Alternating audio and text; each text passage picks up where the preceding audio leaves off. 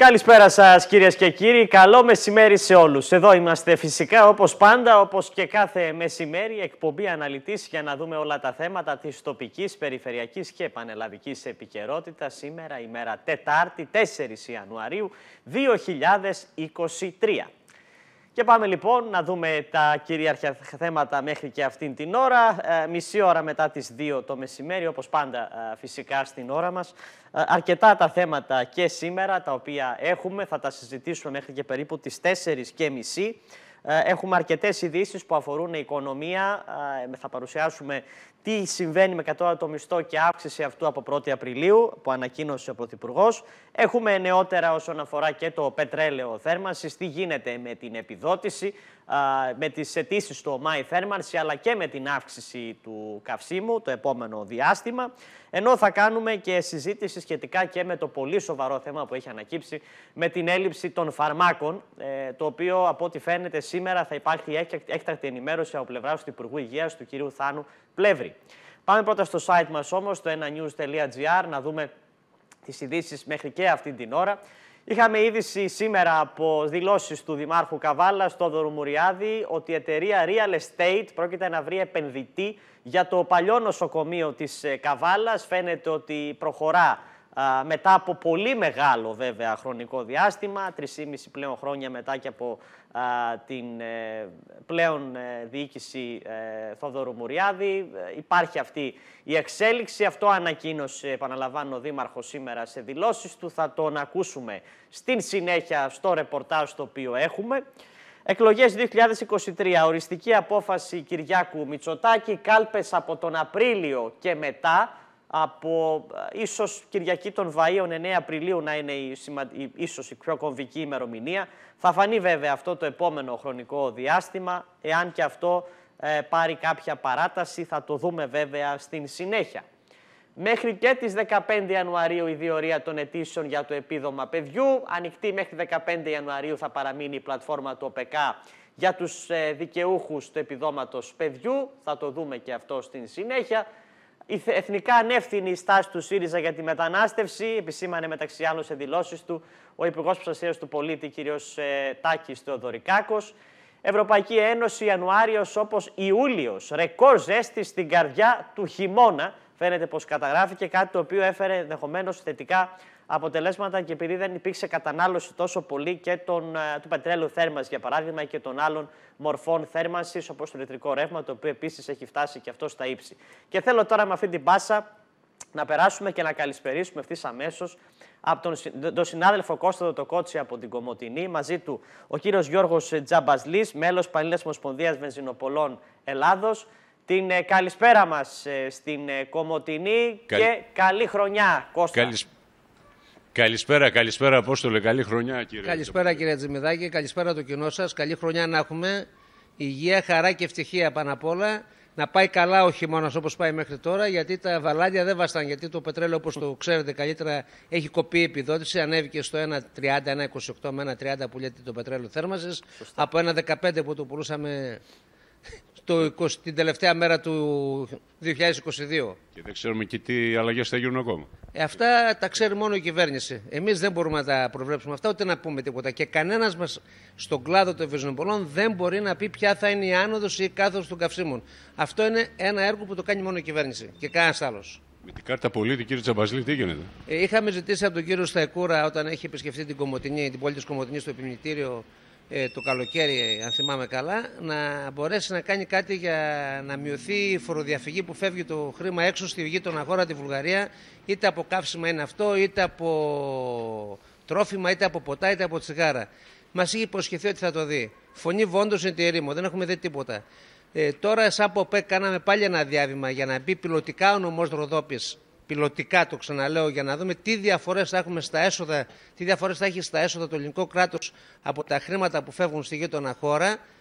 Και περιμένουμε απάντηση. Την άλλη εβδομάδα έρχεται ο κύριος Μητσοτάκης, ε, θα τον πάμε το διάβημα πάλι με νούμερα πλέον γιατί όλη η Ελλάδα τα καύσιμα είναι πεσμένα, τα καθαρά καύσιμα ενώ το πετρέλαιο κίνηση και το, οι βεζίνες γύρω στο 12% με επίσημα στοιχεία από τα ΕΛΠΕ και από το Υπουργείο Ανάπτυξης βασικά, όχι μόνο το ΕΛΠΕ, στον νομό Ροδόπης είναι πεσμένη η αγορά του καυσίμου, το τονίζω, γύρω στο 43%. Είναι πολύ μεγάλο το νούμερο και αυτά όλα φεύγουν στη γείτονα χώρα. Δηλαδή, εάν ο νομός Ροδόπης πουλούσε 2 εκατομμύρια λίτρα τον μήνα σε καύσιμα κίνησης, πουλάει ένα εκατό. Αυτό το 1 εκατό συνεπάγεται πάνω από, πάνω από ένα εκατομμύριο ευρώ φόρους που χάνει το ελληνικό κράτος. Ε, εάν μας βάλει την κάρτα πολίτη και δώσει κάποια έκπτωση στους συμπολίτες μας, ούτως ώστε να αφήνουν τα χρήματά τους στην αγορά, την τοπική την αγορά της, της πόλης μας, ίσως κάτι γίνει και με όλη την αγορά, με όλα τα προϊόντα της αγοράς. Έτσι. Εγώ θέλω να τονίσω ναι. ότι αυτό πρέπει να το δει ο Πρωθυπουργός για να μπορεί να τονωθεί η αγορά. Κάποτε στην Κομωτινή στο νομό υπήρχαν, όπως το έχω πει επανειλημμένα, 110 πρατήρια. Ε, σήμερα είναι 50, εκ των οποίων τα 20 φυτοζωούν. Δηλαδή δουλεύουν γιατί οι άνθρωποι που τα εκμεταλλεύονται είναι μόνοι τους, είναι οικογενειακές επιχειρήσεις χωρίς προσωπικό, έχουν και άλλες απασχολήσεις και μπορούν και βγάζουν, αν βγάζουν μεροκάματο από τα πρατήρια. Εάν το δουν αυτό, θα έχουμε κάποιες καλύτερες μέρες στον χώρο των βυζοπολών. Και όχι μόνο σε εμάς, θα είναι και στην υπόλοιπη αγορά, γιατί το καύσιμο είναι το δόλωμα. Ναι, σωστά. Κάποτε ο Βερόπουλος, ναι. αν θυμάμαι καλά, είχε ανοίξει ναι. σούπερ μάρκετ στα Σκόπια. Δίπλα στο πρατήριο που υπήρχε και γινόταν χαμός. Τα ίδια τρόφιμα που λιόταν με 40%, 30% και 40% κάτω. Εδώ δίπλα μας, στα 500 μέτρα από την συνολική γραμμή, υπάρχει πρατήριο το οποίο έχει και σούπερ μάρκετ τεράστιο μέσα. Καλά κάνουν οι συμπολίτες μας και πάνε γιατί οι διαφορές είναι πάρα πολύ μεγάλες. Τέλος του χρόνου, το καύσιμο στις, ε, με 30 Δεκεμβρίου το καύσιμο ήταν 1,890 η βενζίνη στην Ελλάδα, 1,30 στο, στα Σκόπια και 1,39, 1,40 στη Βουλγαρία. Καταλαβαίνετε τι μεγάλες διαφορές υπάρχουν, έτσι; Εάν μπορούμε και το δούμε αυτό, θα ανασάνει λίγο η τοπική κοινωνία και η αγορά μας. Και ζητάτε πάντα βέβαια το, τη μείωση του ειδικού φόρου κατανάλωσης, κύριε Τσάπα. Αυτό, αυτό θα είναι με τη μείωση του ειδικού φόρου κατανάλωσης. Αυτή η κάρτα πολίτη που λέμε είναι ότι θα επιστρέφονται κάποια χρήματα πίσω στους συμπολίτες, τους Ροδοπαίου ή τους Ερέου που είναι ή τους Ευρύτες, αυτοί που έχουν το μεγάλο πρόβλημα. Αυτές οι περιοχές που έχουν το μεγάλο πρόβλημα. Μάλιστα. Κύριε Εύχομαι να το δουν. είναι απλά τα πράγματα. Ναι, ναι. Να πούμε ότι έχουμε και την επιδότηση. Εύχομαι, είναι έτσι. πολύ απλά τα πράγματα. Η επιδότηση, κύριε Τζεμιδάκη, κόπηκε από το κράτος, δεν κόπηκε mm. από τους πρατηριούχους. Ούτε οι πρατηριούχοι το δίνανε. Τα 20 mm. λεπτά που είχε δώσει ο κ. Σταϊκούρα στην αρχή της σεζόν, ε, που ξεκινήσαμε με ένα 40, mm. έτσι όταν ήταν η επιδότηση, τώρα κόπηκε κατά 11 λεπτά και πήγαμε στο 1,30, έτσι. Μάλιστα. Το επίδομα τώρα, θέρμανσης... Ευτυχώς κάνει καλό χειμώνα, ευτυχώς κάνει πολύ καλό χειμώνα μέχρι τώρα, δηλαδή... Ε, βλέπετε τι ηλιοφάνεια υπάρχει και τι μέρες υπάρχουν. Λίγο το βράδυ αλλάζουν τα πράγματα, αλλά αυτό βοηθάει πάρα πολύ τους συμπολίτες σε, όλη την, σε όλη την Ανατολική Μακεδονία και Θράκη να μην κατανάλουν και το βασικότερο αγαθό που είναι η θέρμαση αυτή τη στιγμή. Έτσι. Είτε πέλετ λέγονται αυτά, είτε ξύλα, είτε ηλεκτρική ενέργεια, είτε πετρέλαιο. Όσον αφορά το επίδομα θέρμανσης, γιατί έχουμε παράταση για τις αιτήσεις μέχρι και 13 Γενάρη από ό,τι βλέπουμε. Ναι, ναι, αυτό υπάρχει. Ναι, όντως υπάρχει. Δοθήκαν κάποια λεφτά, μπήκαν κάποια λεφτά σε λογαριασμούς συμπολιτών. Ε, τα λεφτά τα κάναν ξανά καύσιμα οι πελάτες, ξαναγοράσαν καύσιμα μέσα στο Δεκέμβριο. Εντάξει, υπάρχει κίνηση. Δεν μπορώ να πω ότι δεν υπάρχει κίνηση στο πετρέλαιο θέρμανσης. Είμαστε καλά. Δόξα τω Θεώ να λέμε, κινηθήκαμε τα πρατήρια με την τιμή που είχε φέτος. Mm. Γιατί ανεβήκαν τα άλλα προϊόντα ενέργειας, έτσι. Τα πέλετ έχουν φτάσει στα 650 με 700 ευρώ ε, ο τόνος. Το ρεύμα έχει ανεβεί ε, όλα ανεβήκαν. Ε, και φυσικά το πετρέλαιο, επειδή η τιμή του ήταν στο 1,15-1,20, δούλεψε η αγορά της θέρμανσης. Έτσι. Τώρα όμως έχει σκαρφαλώσει στο 1,28 μας είπατε στην αρχή της κουβέντας μας. 1,28 με 1,30. Εντάξει. Μακάρι να το κατεβάσουν. Σας το λέω, μακάρι για να μπορεί να ζηταθεί ο κόσμος. Όταν ένα προϊόν είναι φθηνό, η κατανάλωση, από την κατανάλωση υπάρχουν φορολογίες, φόροι που βγάζει το κράτος περισσότερα χρήματα. Αυτό. Αυτό συμβαίνει και στα υπόλοιπα καύσιμα, δηλαδή και στη βενζίνη και στο πετρέλαιο κίνησης. Ε, οι βενζίνες είχαν μια μικρή άνοδο. Ναι. Εντάξει, το πετρέλαιο έχει πέσει από τα 2 ευρώ που είχε φτάσει στα 2,10-2,15. Είναι στο 1,775, 1,790. Εκεί πέρα παίζει ανάλογα με την περιοχή. Εγώ η άποψή μου ήταν ότι το πετρέλαιο κίνησης που είναι ένα προϊόν το οποίο όλη η μεταφορά, όλη η ελληνική μεταφορά, όλα τα κόστη μεταφοράς έχουν εκτοξευθεί λόγω της τιμής του πετρελαίου για μένα έπρεπε να παίζει το 1,40, 1,30 για να μπορεί να είναι πιο εύκολη η μετακίνηση των προϊόντων από την Ανατολική Μακεδονία και Θράκη προς το κέντρο που είναι η Αθήνα. Τώρα αυτά σας είπα, δεν είναι δικιά μας δεν είναι δικιά μας δουλειά κανενός. Ούτε του Προέδρου της ΠΟΠΕΚ, ούτε των Βεζινοπολών, ούτε κανενός. Αυτά είναι μόνο του κράτους, της κυβέρνησης, ε, που τι μπορεί να κάνει. Αυτό, μόνο δηλαδή. Και δεν μπορούμε να κάνουμε καμιά πρόβλεψη ναι. για τις τιμές. Άσχετα αν εγώ λέω τώρα ότι η τιμή έπρεπε να είναι αυτή. Αυτοί οι κυβερνητικοί παράγοντες το ξέρουν καλύτερα που πρέπει να απολύσουν και τι πρέπει να κάνουν. Σωστά, σωστά. Λοιπόν, για να δούμε, α, κύριε Τζαμπασλή, για ακόμη μια φορά να σας ευχαριστήσουμε πάρα πολύ. Αναμένουμε βέβαια να δούμε τι θα γίνει. Ευχαριστώ το θετικό και εγώ είναι... να έχουμε καλό χειμώνα, Αυτό, να έχουμε ότι- καλό χειμώνα, να μην ζοριστούν οι συμπολίτες Αυτό, μας. αυτό, αυτό. Το θετικό είναι ότι δεν έχουμε α, πολύ κρύο α, προς το παρόν. Ας ελπίσουμε Όχι, να όχι. κινηθεί έτσι και ο υπόλοιπος χειμώνας. Να είστε καλά. Ευχαριστώ Μακάρι πολύ. να πάμε έτσι. Μακάρι. Να είστε καλά, ευχαριστώ πολύ. Καλή συνέχεια να έχουμε και καλή χρονιά. Καλή χρονιά και πάλι Κώστα. Σε ευχαριστούμε και για το ρεπορτάζ. Καλό μεσημέρι, Απόστολε, από Καλό Κομωτινή. μεσημέρι. Λοιπόν, ε, επιστροφή στο στούντιο. Όντως, ένα αρκετά α, σημαντικό θέμα αυτό, το πετρελαίου. Ε, δεν ξέρω αν ε, θέλετε να πάμε να δούμε και το ρεπορτάζ το οποίο έχουμε ετοιμάσει και για το θέμα των ανατιμήσεων. Ωραία, ωραία. Θα πάμε πρώτα αν είναι, γιατί έχουμε και μια συνέχεια α, σε μια τηλεφωνική επικοινωνία που θα περάσουμε τώρα και μετά θα πάμε να δούμε το ρεπορτάζ. Ε, ο λόγος θα περάσουμε τώρα πέρα φυσικά από το πετρέλαιο τα οποία αναπτύξαμε τώρα. Έχουμε και νεότερες εξελίξεις γύρω και από τα θέματα ανάπτυξης. Θέλω να πάμε λίγο να καλησπερίσουμε τον Αντιπεριφερειάρχη Ανάπτυξης της Περιφέρειας Ανατολικής Μακεδονίας και Θράκης, τον ε, κύριο Αρχέλα Ογρανά. Καλησπέρα κύριε Γρανά. Καλησπέρα σας, χρόνια πολλά και καλή χρονιά. Καλή χρονιά. Σας και στους ακροατές μας. Με υγεία, με Στους υγεία. τηλεθεατές μας. Πάνω απ' όλα. Λοιπόν, θέλω λίγο να αναφερθούμε, κύριε Γρανά, όντας φυσικά και νέος αντιπεριφερειάρχης, αλλά και α, ο μέχρι προ... ο, είστε και πρόεδρος ακόμη α, και στην εργοανάπτυξη. Να δούμε λίγο τι γίνεται με το θέμα των λουτρών ελευθερών. Φαίνεται πως υπήρξε κάποιο κόλλημα ως προς αυτό, έτσι. Κοιτάξτε, ο κόλλημα όχι. Πήγε η μελέτη περιβαλλοντικών επιπτώσεων στο Υπουργείο και τέθηκαν κάποιες διευκρινήσεις ε, και μία από αυτές η οποία μας ε, καθυστερεί αυτή την περίοδο είναι η, ο συντελεστής δόμησης ε, και σημαίνει αυτό το εξής, ότι το οικόπεδο ενώ είναι 750 στρέμματα, η δυνατότητα να γίνουν ε, οι κατασκευές είναι σε τρία ξέφωτα που υπάρχουν, ε, σε, ο- γιατί το υπόλοιπο είναι δασικό. Επομένως αυτό που ζήτησε ο, ο επενδυτής είναι να μαζέψει όλο αυτό το ποσοστό δόμησης σε ένα ξέφωτο, εκεί δηλαδή που είναι τα παλιά κτίρια. Ε, αυτό το έκανε, το κατέθεσε σαν ερώτημα στον ε, Δήμο Παγκαίου Ναι. ο- και οι υπάλληλοι εκεί έστειλαν ε, διευκρινήσεις ε, και περιμένουν την απάντηση από την ε, αποκεντρωμένη διοίκηση Ανατολικής Μακεδονίας και Θράκης στην Κομωτινή.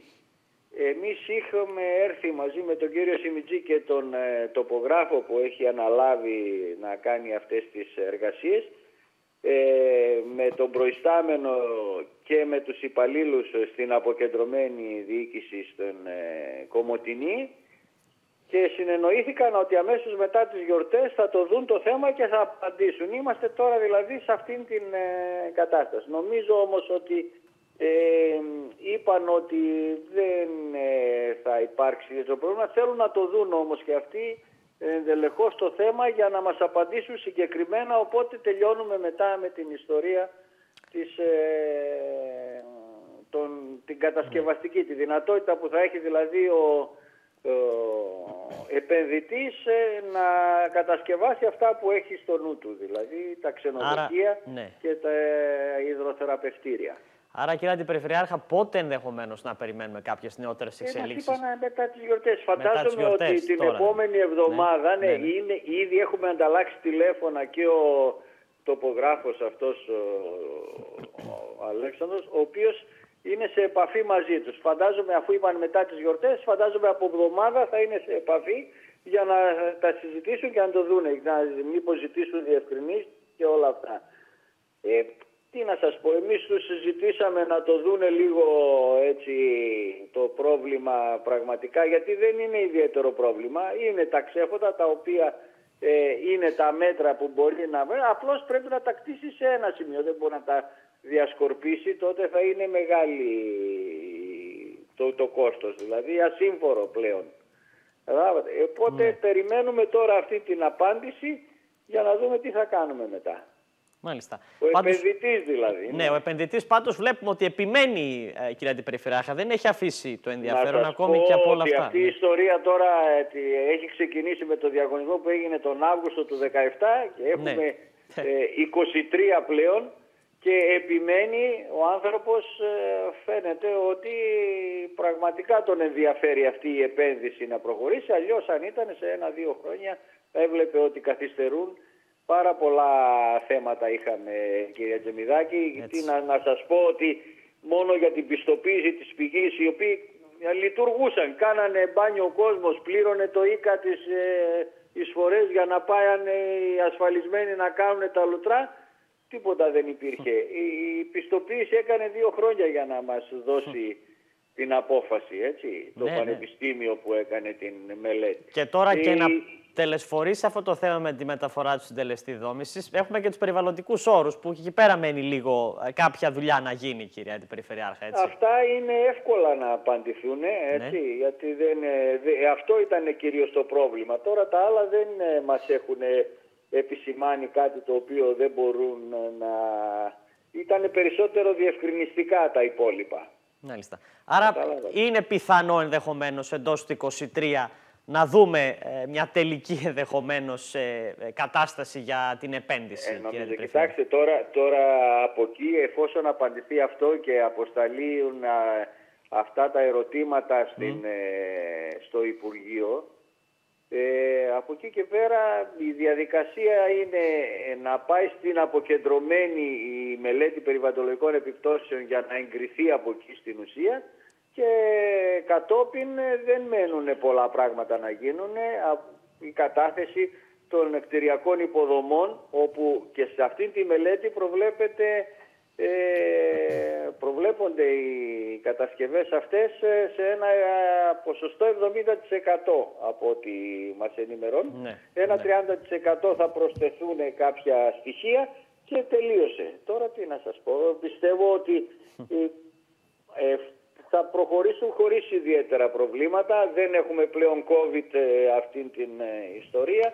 Ε, οι υπηρεσίες είναι πιο εύκολα προσβάσιμες από όλους μας και μπορούμε να προχωράμε τις δουλειές. Μάλιστα. Για να δούμε, κυρία Αντιπεριφερειάρχα, το παρακολουθούμε όσο γίνεται.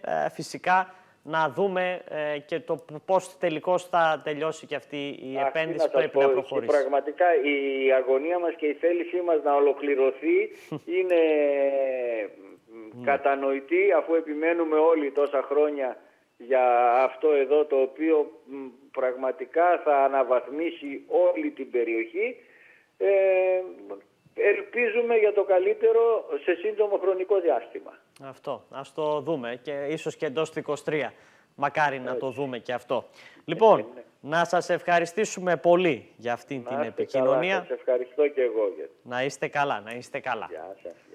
Λοιπόν, α, πρωτού περάσουμε σε διαφημίσεις, πάμε να δούμε λίγο και το ρεπορτάζ το οποίο έχουμε για αυτό το θέμα που είπαμε για τις ανατιμήσεις και το πετρέλαιο, α, για να δούμε λίγο τι γίνεται, τι αυξάνεται. Θα επιστρέψουμε να το σχολιάσουμε και αυτό το θέμα των ανατιμήσεων και του πετρελαίου.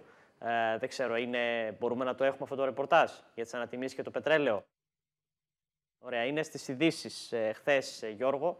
Θα το βρεις ε, για τις ανατιμήσεις και το πετρέλαιο. Και να επιστρέψουμε λίγο να σχολιάσουμε, όπως είπαμε, και το θέμα των αυξήσεων που έχει ε, το θέμα που φαίνει φυσικά το πετρέλαιο, αλλά και τα προϊόντα φυσικά τα οποία υπάρχουν. Λοιπόν, μέχρι να δούμε λίγο και το σχετικό ρεπορτάζ ε, όπως είπαμε, για τις ανατιμήσεις και το πετρέλαιο ε, θέρμανσης. Από τον... Ε, ωραία, τέλεια. Πάμε να το δούμε για να επιστρέψουμε να το σχολιάσουμε. Διπλή αύξηση από αρχές του έτους επιβαρύνει την τιμή του πετρελαίου θέρμανσης, του καυσίμου που αποτελεί τη δημοφιλέστερη μορφή ενέργειας. Για να ζηταθούν τα νοικοκυριά τη φετινή χειμερινή περίοδο. Οι ανατιμήσεις προέρχονται από το ψαλίδισμα της κρατικής επιδότησης, αλλά και από το τέλος της παροχής των εκπτώσεων από τα διηληστήρια προς τις εταιρείες εμπορίας πετρελοειδών. Έτσι, συνολικά η επιβάρηση πλησιάζει τα περίπου 0,14 ευρώ το λίτρο.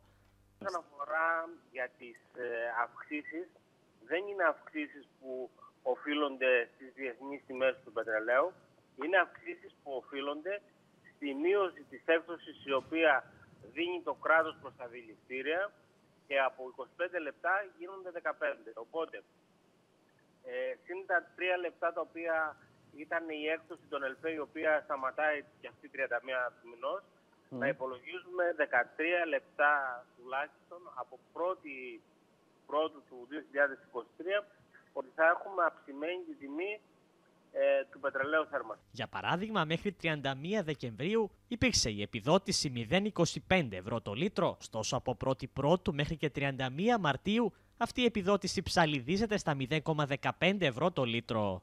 Ξανά άνοιξαν μετά από πολλές πιέσεις οι οποίες υπήρχαν και από εμάς και από την Ομοσπονδία Βεζινοπολών Ελλάδος μέχρι τις 14 Ιανουαρίου. Οπότε ήταν αρκετοί συμπολίτες μας και καταναλωτές οι οποίοι δεν είχαν κάνει αίτηση, οι οποίοι την ξεχάσαν ή οι οποίοι ε, καταχωρήσαν κάποια πράγματα λάθος. Mm. Δίνεται η δυνατότητα για μια ακόμα φορά μέχρι τις 14 Ιανουαρίου να διορθώσουν και να κάνουν ε, τις αιτήσει του ώστε να πάρουν ε, αυτό το περιβόητο επίδομα θέρμανσης. Την ίδια ώρα με αμύωτη ένταση αναμένεται να συνεχιστεί και το 2023 το μπαράζ των ανατιμήσεων σε δεκάδες βασικά αγαθά όπως είναι τα τρόφιμα επιβαρύνοντας ακόμη περισσότερο τους οικογενειακούς προϋπολογισμούς. Πιο συγκεκριμένα, τις επόμενες μέρες αναμένεται να έρθουν αυξήσεις συν 30% στις παιδικές πάνες, τα απορριπαντικά, τα σαμπουάν, τα ξηραφάκια, τα σοκολατοειδή, τις μπεσαμέλ, συν 29% αύξηση σε ζυμαρικά και σάλτσες, συν 27% στα λουκούμια, συν 22% σε τσίχλες και καραμέλες, συν 20% στις λιαστές ντομάτες, συν 19% στις μπάρες δημητριακών και στις κορσέρβες λαχανικών, συν 18% στα καθαριστικά σπιτιού, συν 16% σε τυριά, μπισκότα και φρυγανιές, συν 15% στις ζωοτροφές, συν 14% στο ελαιόλαδο, συν 13 στο ρύζι, το 10,5% πάνω οι κονσέρβες τόνου, συν 11% μαρμελάδες και ξύδι, συν 10% θα παρουσιάσει αύξηση ακόμη και το εμφιαλωμένο νερό, συν 9 τα αναψυκτικά, συν 7,5 τα γιαούρτια, συν 8 το βρεφικό γάλα και οι φρουτόκρεμες και συν 7 τα φασόλια και τα κρουασάν.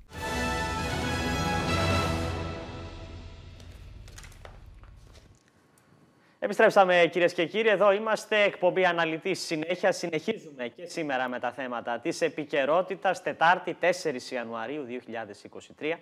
Πάμε ευθύς αμέσως να καλησπερίσουμε από την αίθουσα σύνταξης τη συνάδελφο Μαρία Βλαμίτσου για να μας δώσει πολύ ενδιαφέροντα στοιχεία σχετικά με την πρόσφατη απογραφή πληθυσμού για το σύνολο της χώρας αλλά κυρίως για την περιφέρεια Ανατολικής Μακεδονίας και Θράκης. Μαρία, καλησπέρα. Καλησπέρα, καλησπέρα Απόστολε, καλησπέρα στους τηλεθεατές μας, στους τηλεθεατές του Αναλυτή. Να σου πω ότι γι' αυτό που είπες ακριβώς τώρα, ότι στις 30 του Δεκέμβρη η Ελληνική Στατιστική Αρχή έδωσε στην δημοσιότητα τα στοιχεία απογραφής του νόμιμου πληθυσμού που είχε γίνει το 21 σε ολόκληρη τη χώρα. Και όπως αναφέρεται χαρακτηριστικά στο σχετικό δελτίο, τα στοιχεία αυτά αφορούν στον νόμιμο πληθυσμό, δηλαδή τους δημότες της χώρας και προκύπτει ότι ο πληθυσμός μας ανέρχεται σε 9 εκατομμύρια, συγκεκριμένα 716.899 εκατομμύρια άτομα. 9.700 δηλαδή. Ε, φυσικά το θέμα όλο είναι στο ότι τα ερωτηματικά που προκύπτουν στο τι θα γίνει με το ζήτημα της αλλαγής των βουλευτικών εδρών, έτσι, γιατί παίζει ναι. άμεσο ρόλο ο πληθυσμός με τις ε, βουλευτικές έδρες. Και επίσης, έτσι, για να ενημερώσουμε τους ε, τηλεθεατές μας και για να γίνει κατανοητό, τα στοιχεία του νόμιμου πληθυσμού είναι αυτά που διαμορφώνουν τις βουλευτικές έδρες αναπεριφερειακή ενότητα και εξαρτάται από εδώ και πέρα από το πώς διαμορφώνονται και τα στοιχεία του νόμιμου πληθυσμού και στους άλλους νομούς. Ο πληθυσμός δηλαδή αφορά στην καταγραφή του πληθυσμού που είναι εγγεγραμμένο σε μία περιοχή, σε ένα τόπο. Μπορεί κάποιος, ε, παραδείγματος χάρη, να κατοικεί σε έναν άλλο τόπο ή στο εξωτερικό, αλλά να παρουσιάζεται ως εγγεγραμμένος στην Καβάλα, για ναι, παράδειγμα. Σωστά, Ο μόνιμος πληθυσμός είναι αυτός που καταγράφεται ότι κατοικεί μόνιμα σε ένα τόπο. Έτσι, σωστά. Να σου πω ότι από ναι. τα πρόχειρα στοιχεία που είχαν ε, δοθεί τον Ιούλιο ε, από την Ελληνική Στατιστική Αρχή για το μόνιμο πληθυσμό της περιφέρειάς μας ήταν ε, απογοητευτικά και συγκεκριμένα είχε αποτελέσει και θέμα συζήτησης και για την δράμα χαρακτηριστικά, αν μπορεί να χάσει βουλευτική έδρα στη συνέχεια. Ε, τα στοιχεία του νόμιμου πληθυσμού λοιπόν παρουσιάζουν ιδιαίτερο ενδιαφέρον και σύμφωνα με όσον αφορά τις περιφερειακές ενότητες η, της περιφέρειας. Η Περιφερειακή Ενότητα Εύρου έρχεται στην πρώτη θέση και δεύτερη είναι η πόλη μας, η Καβάλα. Τρίτη η Ξάνθη που προηγείται της Ροδόπης. Και κάτω από τις 100.000 πληθυσμός είναι η Περιφερειακή Ενότητα της Δράμας. Να πούμε χαρακτηριστικά, δεν ξέρω αν βλέπουμε και την κάρτα τη βλέπουμε. Τη βλέπουμε παράλληλα. Ναι, ναι, ωραία. και να πούμε ότι ε, Καβάλα και Θάσος ε, μαζί, όντας δύο περιφερειακές ενότητες, έχουν συγκεντρώσει αρκετά μεγάλο, όπως βλέπουμε εδώ, ε, ποσοστό του πληθυσμού. ακολουθεί μετέπειτα, όπως είπες πολύ σωστά, η Ξάνθη, η Ροδόπη και δυστυχώς ουραγός είναι η Δράμα. Ναι, ναι, και... Με τον κίνδυνο, όπως μας μετέφερες και της απώλειας μιας βουλευτικής έδρας. Όπως και στις ΣΕΡΕ, να πούμε, συμβαίνει το ίδιο, στην κεντρική Μακεδονία. Και εκεί υπάρχει αυτός ο φόβος. Ναι. Ε, συγκεκριμένα για τη δράμα, παρα... ναι. παραμένει στην τελευταία θέση με 95.701 άτομα ε, στην τελευταία της απογραφή. Τα στοιχεία είναι ιδιαίτερα απογοητευτικά και μάλιστα έχει γίνει και μεγάλο θέμα συζήτησης για το τι θα γίνει τελικά με την ε, βουλευτική έδρα, Απόστολε, και το τι επιφυλάσσει το μέλλον του, της περιοχής της δράμας, έτσι. Σίγουρα. Και αυτό είναι ε, θέμα προσυζήτηση και μέσα στα, στους κύκλους τους ε, βουλευτικούς για το ε, πώς θα παιχτεί, να το πω έτσι, το παιχνίδι των βουλευτικών εκλογών. Ακριβώς. Λοιπόν, Μαρία, να σε ευχαριστήσουμε πάρα πολύ. Αρκετά ενδιαφέροντα αυτά τα στοιχεία που μας έδωσες. Θα τα σχολιάσουμε και στην συνέχεια της εκπομπής. Ευχαριστούμε πολύ.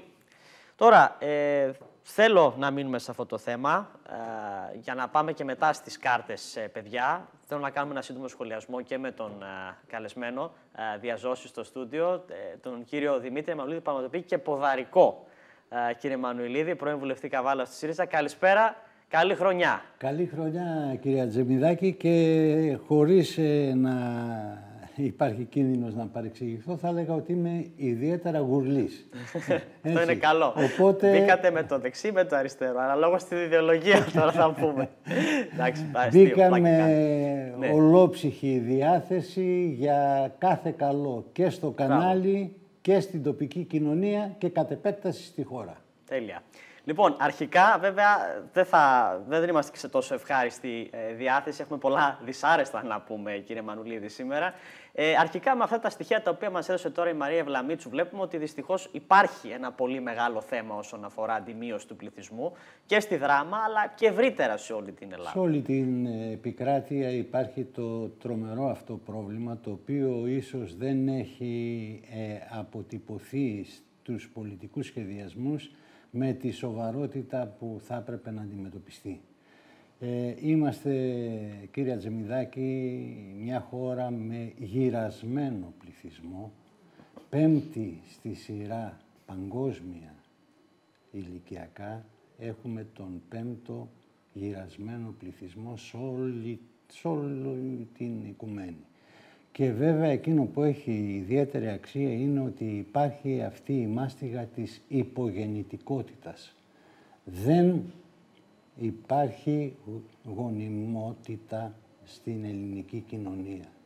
Και οι συντελεστές ε, αυτής της πραγματικότητας είναι πολλοί, δεν θα είχαμε το χρόνο να τους αναλύσουμε. Ε, σαφώς είναι οι οικονομικές συνθήκες που σχεδόν είναι απαγορευτικές στα νέα ζευγάρια να προχωρήσουν σε συμβίωση διαβίου και μέσα από τη συμβίωση να έχουμε και τοποθητό της ε, γέννησης νέων υπάρξεων.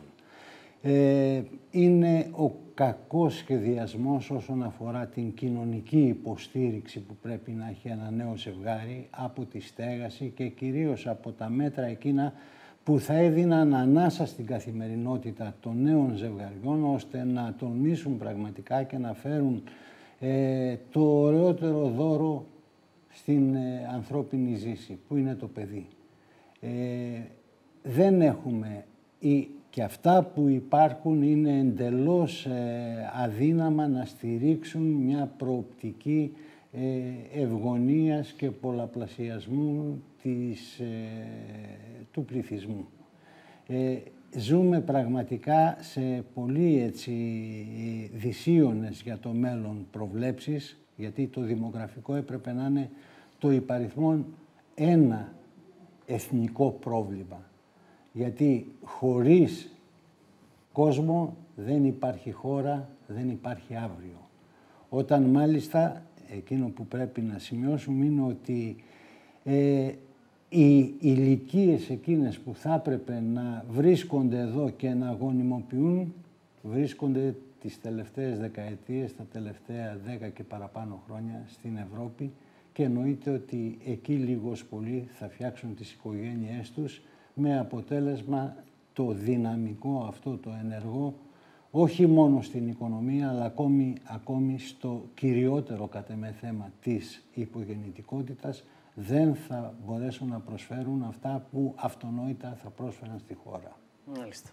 Και θα περάσουμε λίγο και στο ζήτημα τώρα αυτό της οικονομίας που αναφέρεται, κύριε Μανουλίδη, γιατί ε, υπήρξε μια έρευνα από την Κεντρική Ένωση Επιμελητηρίων Ελλάδος, η οποία δεν είναι τόσο καλή, δεν είναι τόσο ευίωνα, αν θέλετε, τα στοιχεία τα οποία έρχονται στο φως. Και πάμε λίγο να δούμε κάποια στοιχεία αυτής της έρευνας της Κεντρικής Ένωσης Επιμελητηρίων Ελλάδος. Σύμφωνα λοιπόν με αυτή την έρευνα, μαύρη εικόνα για το 23 προβλέπει η Ένωση, το 54% να το βάλουμε πληρωθόνη παιδιά των επιχειρήσεων που συμμετείχαν στην έρευνα προβλέπει δυσμενέστερη κατάσταση το επόμενο εξάμεινο με αύξηση επισφαλιών και πτωχεύσεων.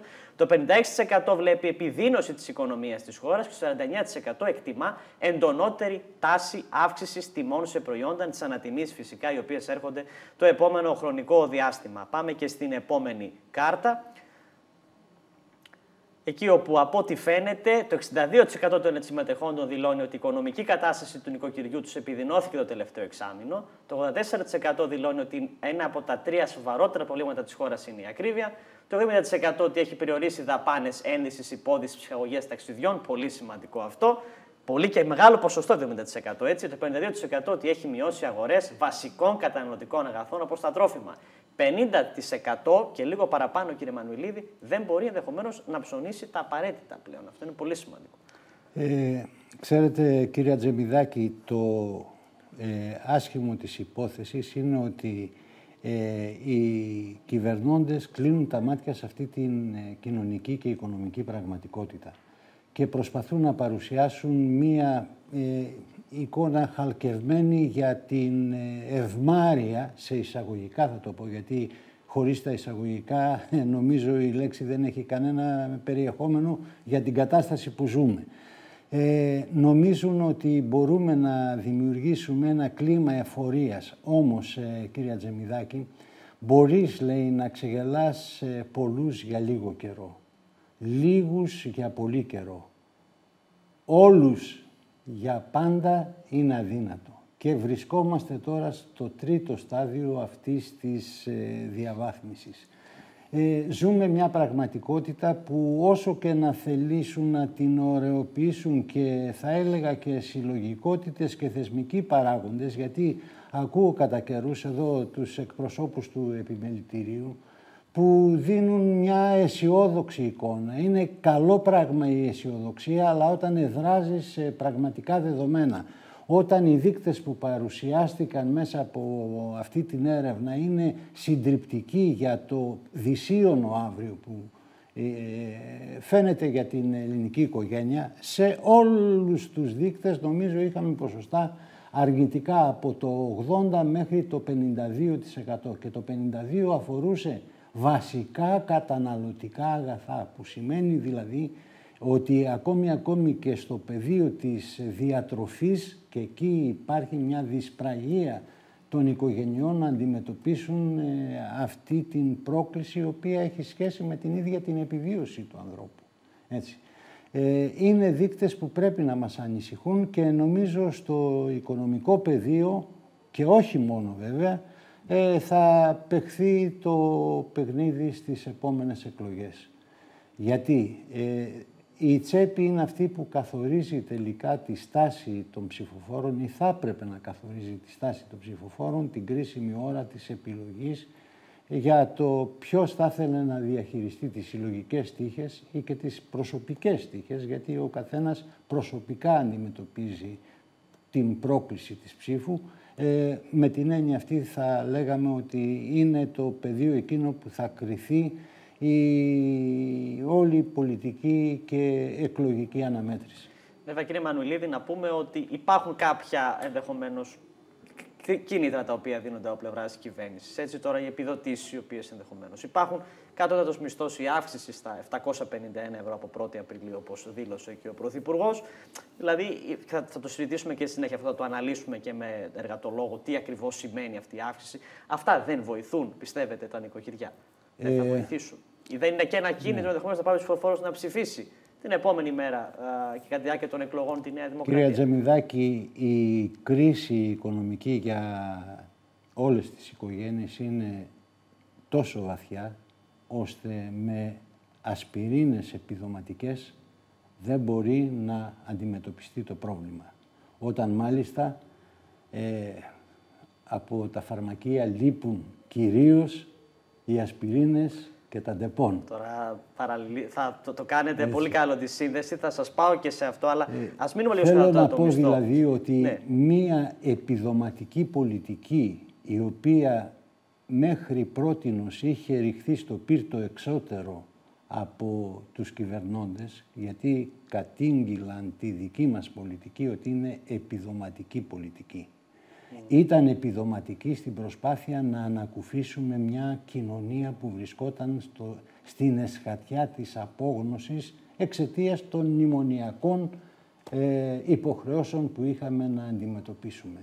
Σήμερα όταν έχουμε τη δυνατότητα έτσι ανοιχτού δημοσιονομικού χώρου με όλα τα μέτρα που πάρθηκαν από την Ευρώπη και παγκόσμια θα έλεγα εξαιτίας του COVID και με δεδομένο ότι έχουμε μετατοπίσει το κέντρο του ενδιαφέροντος του κυβερνητικού στο πώς θα δημιουργηθούν υπερκέρδη τεράστια προκλητικά για την κοινωνία, προκλητικά για την οικονομία, σε πέντε παρόχους ενέργειας και σε πέντε αλυσίδες τροφίμων, καταλαβαίνετε ότι αυτό το πράγμα είναι ε, προκλητικό και θα έλεγα ε, δεν μπορεί να δώσει απάντηση λογική στον κάθε σκεπτόμενο. Όταν μάλιστα σε πολλά ευρωπαϊκά κράτη έχει γίνει το αυτονόητο. Όταν μιλάμε για κρίση στην ε, προσπάθεια του οικογενειάρχη να πάρει τα προϊόντα, ε, τα απαραίτητα από το σούπερ μάρκετ και εμένει η κυβέρνηση πεισματικά στην άρνηση να πέσει ο ΦΠΑ σε αυτά τα προϊόντα βασικής αγαθά, βασικής ε, διατροφής, καταλαβαίνετε ότι εδώ κάτι σάπιο συμβαίνει στη Δανημαρκία. Και το έχουμε αυτό τονίσει εδώ και πάνω από ένα χρόνο, ότι λάθος αρμενίζει η κυβέρνηση. Όμως δεν είναι ένα λάθος, είναι μία συνειδητή επιλογή να στηρίξει αυτούς που τη στήριξαν. Γιατί γνωρίζουμε πάρα πολύ καλά ότι η όποια προσπάθεια ε, αγιοποίησης του Πρωθυπουργού έγινε μέσα από μια συστηματική σχέση ε, προκλητικού δούνε λαβίν.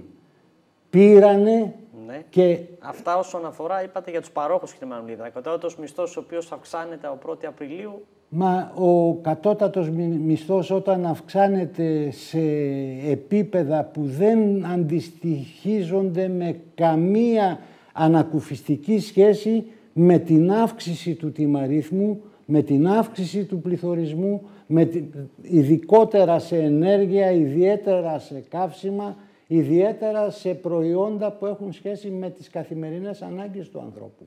Μιλάμε για αυξήσεις του 35% επερχόμενες αυξήσεις από τις αλυσίδες ε, τροφίμων. Ε, μιλάμε δηλαδή για ένα αρμαγεδόνα κοινωνικό που επιτέλους η κυβέρνηση πρέπει να δει τα πράγματα από άλλη σκοπιά. Δεν θα τα δει όμως. Γιατί, Γιατί είναι δεσμευμένη και εδώ βρίσκω την ευκαιρία να σας πω έτσι με κάθε ειλικρίνεια και αν θέλετε δεν είναι δουλειά δική μου να το πω, αλλά ε, έχει την αξία του. Ε, η κυβέρνηση αυτή τη στιγμή, κύριε Ατζεμιδάκη, ε, έχει οδηγηθεί στην, στον τίτλο του Μαρσέλ Προύστ «Αναζητώντας το χαμένο χρόνο». Ένα εξαιρετικό μυθιστόρημα. Αναζητεί το χαμένο χρόνο. Ποιος είναι ο χαμένος χρόνος; Ο χρόνος που χάθηκε από την διακριτική ευχέρεια του Πρωθυπουργού να προκηρύξει εκλογές σε, προ... σε παρελθόντα χρόνο. Δεν θα έπρεπε, πιστεύετε, να το έκανε σε παρελθόντα χρόνο εδώ και καιρό. Ακριβώς. Δεν θα μιλήσω για το λιβάνισμα των πρώτων, του πρώτου χρόνου της πανδημίας, εκεί δηλαδή που πραγματικά είχε φιλοτεχνηθεί ένα πρόσωπο μεσία. Ε, αυτό μέσα από το χρόνο σβήστηκε και ήρθαμε στο κρίσιμο διάστημα του Σεπτέμβρη του 2022. Σεπτέμβρη του 2022 ήταν ένας πολύ κρίσιμος χρόνος ώστε να πάρει απόφαση ο Πρωθυπουργός και να προκηρύξει εκλογές. Γιατί άραγε; Γιατί δεν είχε σκάσει το σκάνδαλο των υποκλοπών. Δεν είχε, είχε σκάσει αλλά δεν είχε φουντώσει, δεν είχε φτάσει σε αυτή την πυρκαγιά που βρίσκεται σήμερα και αδυνατεί με κάθε τρόπο μετερχόμενο να τη σβήσει η κυβέρνηση. Βλέπετε εδώ ο Ράμος, ο πρόεδρος της ΑΔΕ, μπαίνει και κάνει το αυτονόητο, κάνει έλεγχο στην Κοσμοτέ, στην ε, ναι, Vodafone. Εντάξει, δεν χρειάζεται να πούμε εταιρείες κινητής τηλεφωνίας. Σε όλες κάνει το ναι, αυτονόητο ναι, για να βρει μια άκρη αυτή που αρνήθηκε να την ε, προχωρήσει ο καθήλυνα αρμόδιος. Και καθήλυνα Άρα... αρμόδιος είναι ο Άρα... ε, εισαγγελικός λειτουργός. Κύριε Μανουλίδη, κρατάω εγώ το γεγονός ότι θα έπρεπε να προκυρηθούν πολύ νωρίτερα εκλογές και σε αυτό λίγο θα μείνω. Θέλω να πάμε σε ένα σύντομο διαφημιστικό διάλειμμα γιατί με πιέζουν. Ε, επιστρέφουμε. Θα πάμε λίγο στο θέμα των εκλογών. Έχουμε και για τα φάρμακα να συζητήσουμε γιατί είναι σημαντικό. Διαφημίσεις, επιστρέφουμε.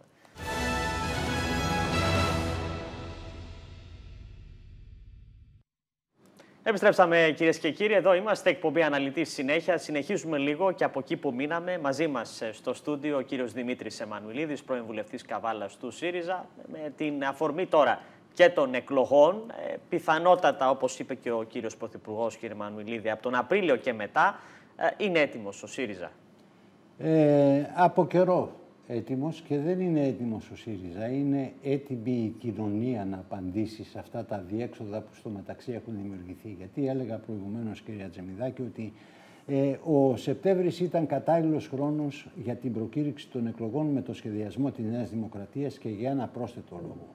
Η ακρίβεια, ενώ φαινόταν ότι ερχόταν, δεν είχε πέσει ακόμη στις πλάτες ολόκληρης της κοινωνίας. Βλέπουμε όμως το διάστημα από το Σεπτέμβρη μέχρι σήμερα τι βαρύ φορτίο ακρίβειας που βαλάει η κοινωνία. Και το τρίτο και σημαντικότερο είναι η ε, διαχείριση της εξουσίας από τη Νέα Δημοκρατία που έδειξε δείγματα μιας αλαζονίας και ε, μιας έλλειψης στοιχειώδους ε, σεβασμού της συνταγματικότητας.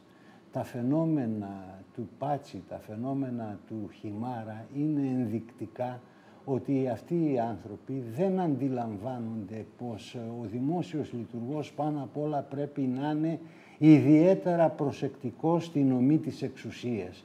Η εξουσία δεν είναι προνόμιο που μοιράζεται στους εξουσιαστές. Είναι κεφάλαιο που πρέπει να διαχυθεί στην κοινωνία. Και επιτέλους να πω και το τελευταίο, ότι ε, εδώ έχουμε να κάνουμε και με μία προσπάθεια η οποία άκουγα σήμερα, κύριε Ατζεμιδάκη, τον ε, Αντιπρόεδρο της Κυβέρνησης, Υπουργό Ανάπτυξης, και κυριολεκτικά έτσι ένιωσα φρίκη να λέει ότι δεν με ενδιαφέρουν οι υποκλοπές.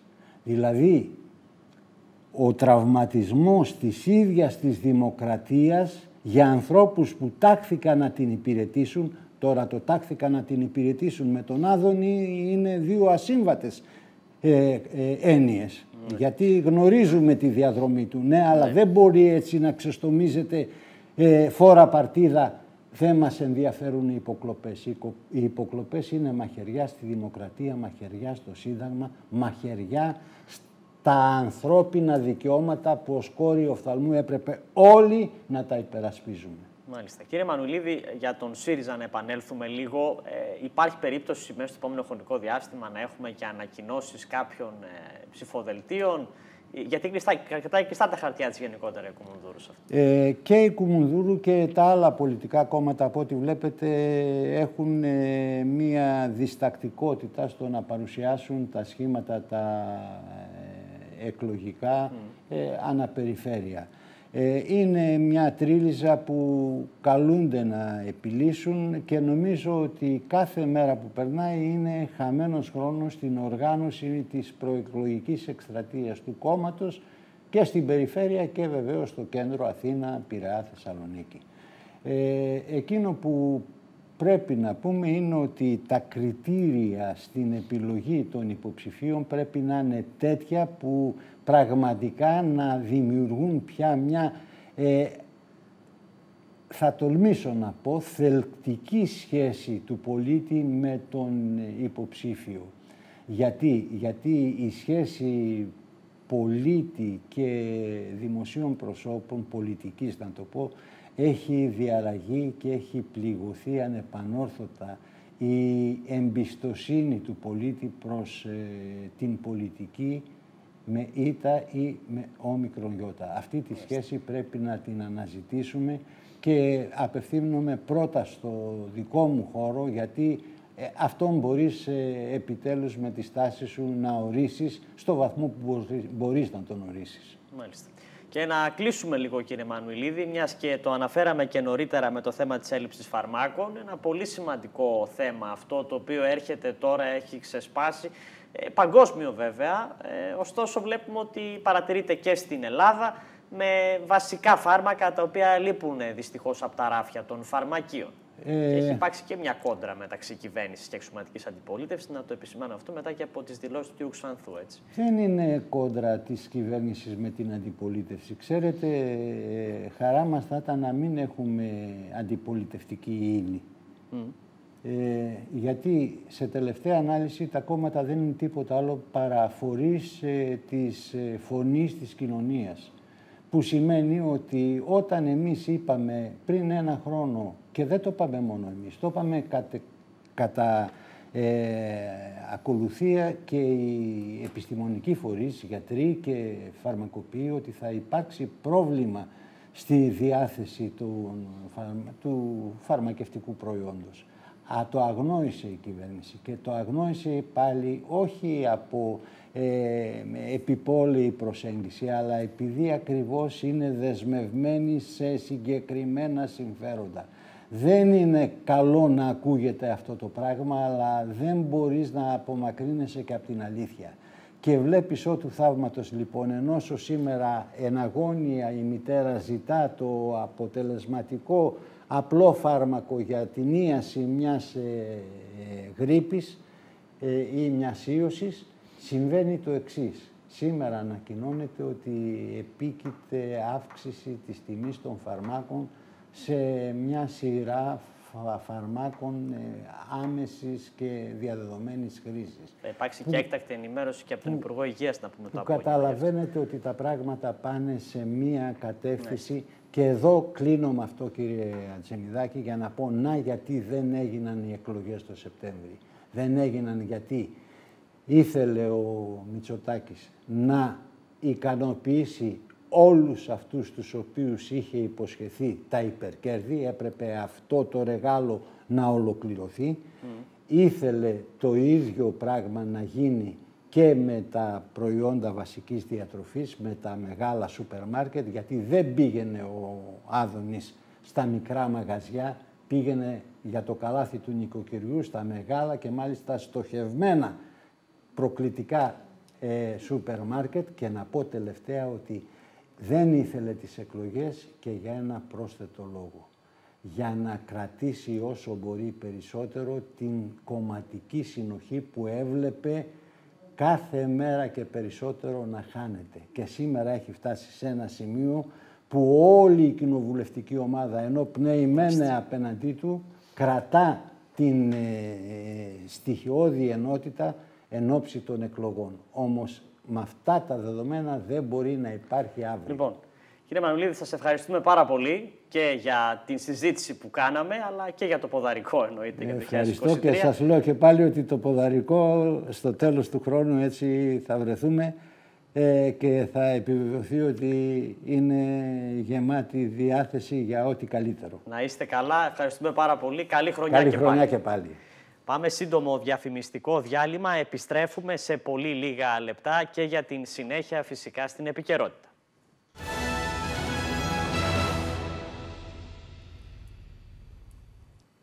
Επιστρέψαμε κυρίες και κύριοι. Εδώ είμαστε. Εκπομπή αναλυτή συνέχεια. 20 λεπτά πριν από τις 4 το απόγευμα. Συνεχίζουμε και σήμερα με τα θέματα της επικαιρότητας.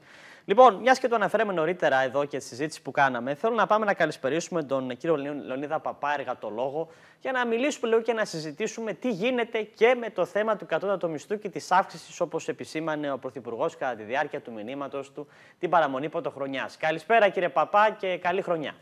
Καλησπέρα κύριε Τζιμιδάκη και σε εσάς και στους τηλεθεατές σας. Καλή χρονιά σε όλους με υγεία. Με υγεία πάνω απ' όλα. Λοιπόν, αυξήσεις προανήγγειλε ο Πρωθυπουργός στο κατώτατο μισθό στα 751 ευρώ από την 1η Απριλίου, κύριε Παπά. Τι πρόκειται να αλλάξει; Ναι. Είναι καλοδεχούμενη, κύριε Τζιμιδάκη. Ναι. Είναι κάτι που το Πασόκ με τεπιτάσιο ζητούσε εδώ και μήνες ότι πρέπει ο κατώτατος μισθός να πάει όχι μόνο στα 750 και στα 800 ευρώ. Mm. Χωρίς αυτό να σημαίνει ότι ο υπάλληλος που αμείβεται με το κατώτατο μισθό μπορεί να καλύψει την αύξηση του κόστου ζωής. Ο πληθωρισμός είναι στα ύψη και τα είδη πρώτης ανάγκης, μόνο σας λέω, σε την ενέργεια έχουν ακριβήνει πάνω από 20-30%. Ακόμη και έτσι όμως, οποιαδήποτε αύξηση στο κατώτατο μισθό είναι σε θετική κατεύθυνση. Mm. Πάντως, πρέπει να έχετε κάτι υπόψη, να το ακούσουν και οι τηλεθεατές. Από αυτές τις αυξήσεις του κατώτατου μισθού υποφελούνται μόνο όσοι πληρώνονται με τον κατώτατο μισθό. Όσοι ιδιωτικοί υπάλληλοι πληρώνονται με λίγο μεγαλύτερο από τον κατώτατο μισθό δεν έχουν όφελος Βέβαια, τον κατώτατο μισθό κατά κανόνα ακολουθούν και διάφορα επιδόματα του ΔΙΠΑ, τέο ΟΑΕ. Και αυτό είναι θετικό.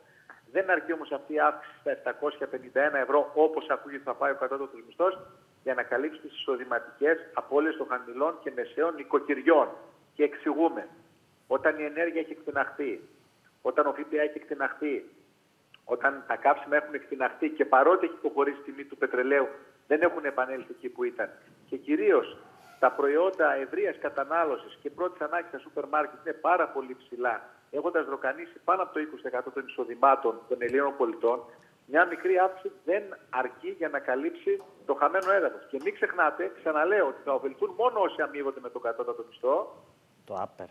Σε ναι. αντίθεση με τους δημοσίους υπαλλήλους που δεν θα έχουν αύξηση τα εισοδήματά τους, σε αντίθεση με τους ελεύθερους επαγγελματίες που θα έχουν μείωση γιατί θα αυξηθούν οι ασφαλιστικές εισφορέ και μόνο οι συνταξιούχοι θα πάρουν μια αύξηση μικρή 7-8%, 7,75 τέλος Ιανουαρίου, όπως είχαμε συζητήσει σε άλλη εκπομπή, που επίσης δεν είναι αρκετή για να καλύψει το χαμηλό έδαφος. Ακόμη και έτσι όμως είναι κάτι σε θετική κατεύθυνση. Βέβαια, ασχέτως τι λέει ο κ. Πρωθυπουργός, είναι ναι. όλος προεκλογική εξαγγελία.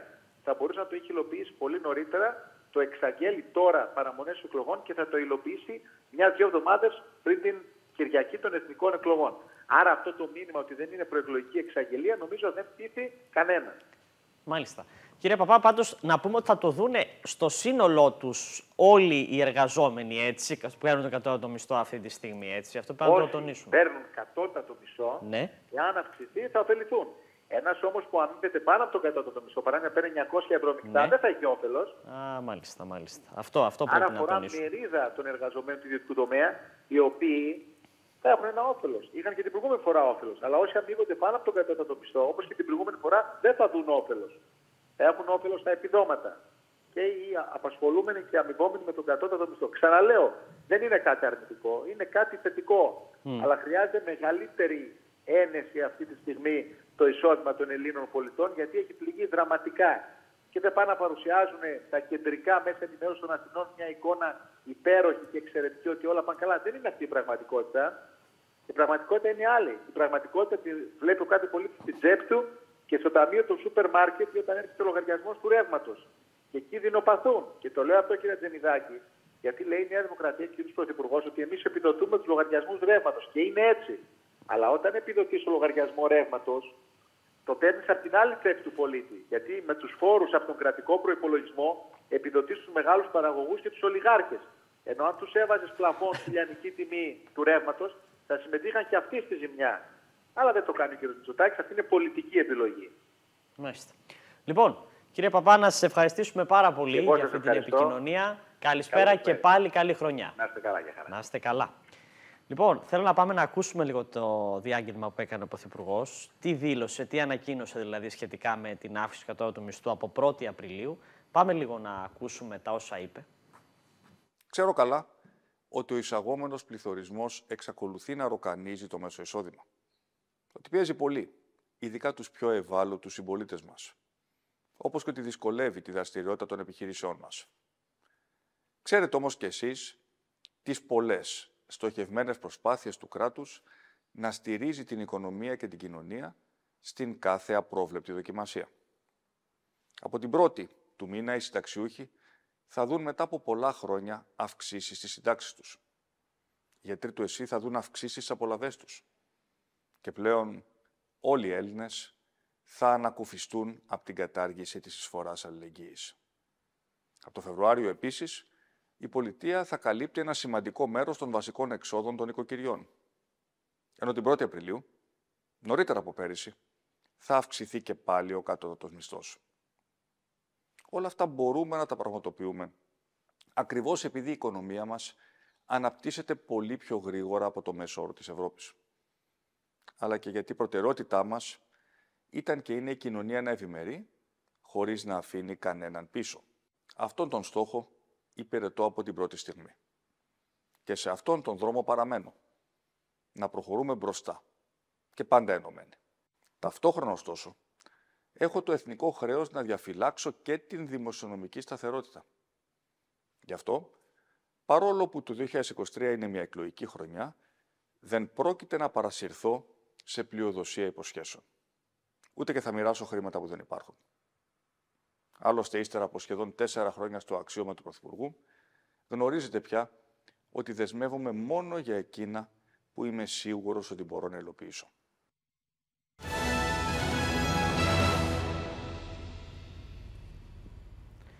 Επιστρέψαμε κυρίες και κύριοι. Εδώ είμαστε εκπομπή αναλυτή συνέχεια, 10 λεπτά πριν από τις 4 το απόγευμα. Σήμερα Τετάρτη, 4 Ιανουαρίου 2022.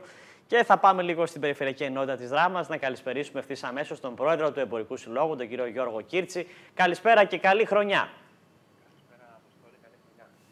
Δεν ακούω καλά τον πρόεδρο.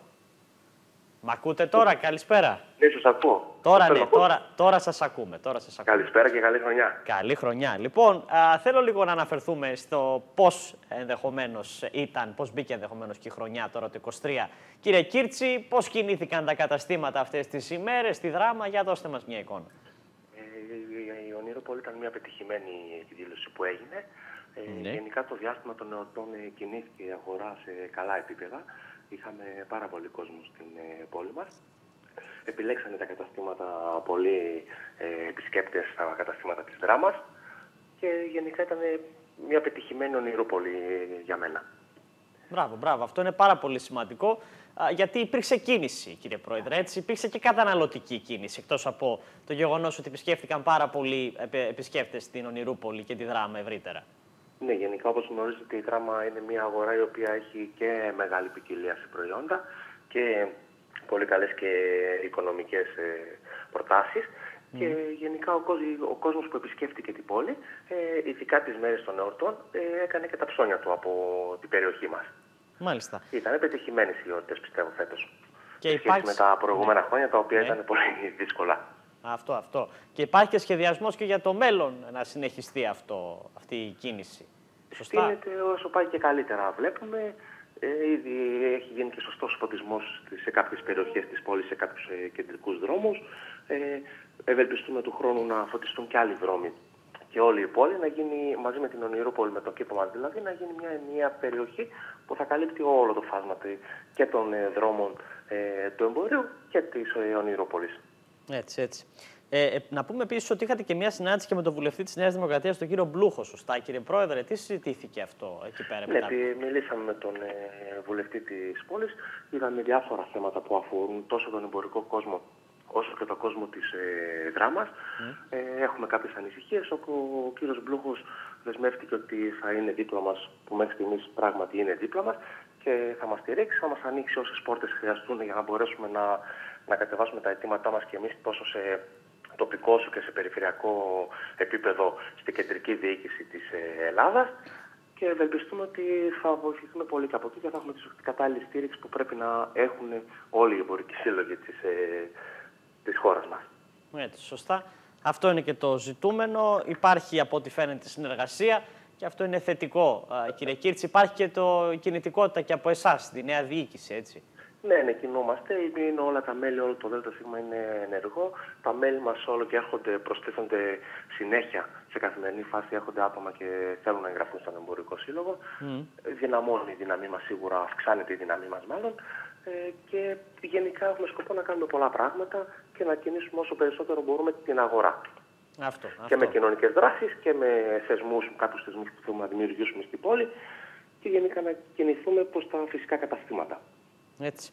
Λοιπόν, να σας ευχαριστήσουμε πάρα πολύ κύριε Πρόεδρε για αυτή την επικοινωνία. Να είστε καλά. καλά.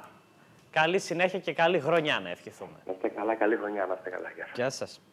Λοιπόν, ε, φαίνεται ότι υπήρξε μια καταναλωτική κίνηση τώρα αυτό το διάστημα και αυτό είναι πάρα μα πάρα πολύ θετικό, όπως μας υπογράμμισε ο πρόεδρος του Εμπορικού Συλλόγου της Δράμας, ο κύριος ε, Γιώργος ε, Κίρτσης. Τώρα, ε, θα παραμείνουμε λίγο στη Δράμα. Δεν ξέρω, έχουμε παιδιά την... Ναι, ναι, ναι, ωραία, ωραία. Για να δούμε λίγο, έγινε και μια πολύ ωραία δράση από την Ένωση Κυριών, όπου είχαμε ε, την ε, παράδοση πάρα πολλών ε, τόνων μάλιστα τροφίμων σε οικογένειες που το είχαν ανάγκη τώρα της δράμας. Ε, πάμε λίγο, νομίζω έχουμε την κυρία Αλίκη Τσιαμούρα, είναι η πρόεδρος της Ένωσης Κυριών Δράμας. Καλησπέρα και καλή χρονιά. Καλησπέρα, καλή χρονιά. Μας ακούτε; Έπεσε η γραμμή; Ωραία. Να καλέσουμε άλλη μία φορά λίγο, γιατί μια πολύ ωραία δράση η οποία έγινε με ε, τράπεζα τροφίμων η οποία συγκεντρώθηκε από την Δράμα. Ε, ουσιαστικά διένει με 115 μάλιστα τόνους τροφίμων σε περισσότερες από, σε περισσότερους από 1.900 συμπολίτες ε, της Δράμας και άπορες οικογένειες. Μια πολύ ωραία δράση, η οποία, όπως είπαμε, έτρεξε από την Ένωση Κυριών της ε, Δράμας. Έχουμε τώρα, νομίζω, την κυρία Τσιαμούρα. Καλησπέρα, μας ακούτε τώρα; Καλησπέρα σας και καλή σας χρονιά. Καλή χρονιά, με υγεία, κυρία Πρόεδρε. Λοιπόν, πολύ ενδιαφέρουσα και πάρα πολύ όμορφη αυτή η δράση την οποία τρέξατε και κάνατε. Ε, πάνω από 110 τόνους τροφίμων διαβάζω εδώ. Ναι, πρέπει να ξέρετε ότι η Ένωση Κυριών δεν προσφέρει μόνο Χριστούγεννα και Πάσχα mm. ε, ποσότητες τροφίμων. Ε, είναι σε μηνιαία βάση. Δηλαδή, έχουμε ε, κατατάξει τους ανθρώπους μας σε διάφορες κατηγορίες και βέβαια κάθε μήνα έρχονται, παίρνουν μεγάλες ποσότητες προκειμένου να εξυπηρετήσουν τις οικογένειές τους και τους ίδιους. Ε, και αν θέλετε έτσι πιο αναλυτικά να σας πω ότι έχουμε 75 ε, ανθρώπους οι οποίοι ανήκουν στην τρίτη ηλικία. Αυτούς τους ανθρώπους τους ονομάζουμε μέρημνα για την τρίτη ηλικία συγκεκριμένα. Μέχρι πρώτη τους δίναμε από μία επιταγή και πήγαιναν από ένα σούπερ μάρκετ και έπαιρναν τα προϊόντα που τους ήταν απαραίτητα. Ε, αυτούς τους ανθρώπους βέβαια δεν περιοριζόμαστε μόνο στο να τους προσφέρουμε τρόφιμα, ε, φροντίζουμε και τους κάνουμε, ε, έχουμε ένα σχολείο που το ονομάζουμε δημιουργικό σχολείο. Δηλαδή, μαζεύονται αυτοί οι άνθρωποι μία φορά την εβδομάδα, τους προσφέρουμε το καφέ τους και προσπαθούμε να περάσουν ένα ευχάριστο πρωινό. Έχουμε επίσης ε, τη συνένωση. Ε, η συνένωση είναι ο σύνδεσμος εφοπλιστών και μέσα από το σύνδεσμο εφοπλιστών εξυπηρετούμε 127 οικογένειες. Η, η συνένωση μας στέλνει κάθε μήνα πολύ μεγάλες ποσότητες, ε, είναι σε κούτες ε, τα προϊόντα τους, που έχει μέσα ό,τι μπορεί να φανταστεί κάποιος που του είναι ε, απαραίτητο για να μπορέσει να ζήσει έτσι αξιοπρεπώς. Όλους τους άλλους τους ανθρώπους που δεν είχαμε τη δυνατότητα να τους εντάξουμε σε κάποιο από τα προγράμματά μας, τους δίνουμε από ιδία μέσα. Δηλαδή η Τράπεζα Τροφίμων είναι ένα πολύ σπουδαίο εργαλείο γιατί στην Τράπεζα Τροφίμων εκτός από τις διάφορες προσφορές που έχουμε από μεγάλες ε, ε αλυσίδες ε, σούπερ μάρκετ ε, εμείς συγκεντρώνουμε και όλα τα κοντολίξιμα όπως λέμε. Ε, έχουμε υπογράψει επίσης σύμβαση με δύο μεγάλα σούπερ μάρκετ της πόλης μας, που όλα αυτά που προανέφερα τα κοντολήψιμα μας τα προσφέρουν, έτσι ώστε συμπληρώνουμε με τα προϊόντα μακράς διάρκειας που δίνουμε στους ανθρώπους μας και με άλλα προϊόντα που τους είναι απαραίτητα για να μπορέσουν να, κάνουν, ε, να διατροφούν ε, σωστά.